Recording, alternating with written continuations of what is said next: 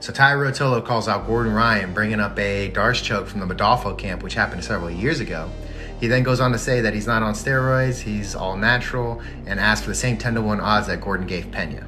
Gordon responds, saying that he will give him 2 to 1 odds, Tye's 50K versus his 100K, makes fun of him for bringing up the 10 to 1 odds and the fact that he lost to Josh Hinger. He addresses the steroid comments by saying that half of Tye's team is on steroids.